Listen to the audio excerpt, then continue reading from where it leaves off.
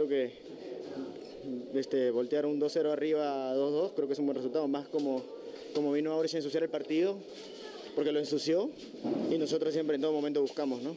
Sí, más complicado aún allá de visita, pero nada, nosotros tenemos que trabajar mañana y pasado y, y tratar de plantear un buen partido para sacar un buen resultado. ¿no?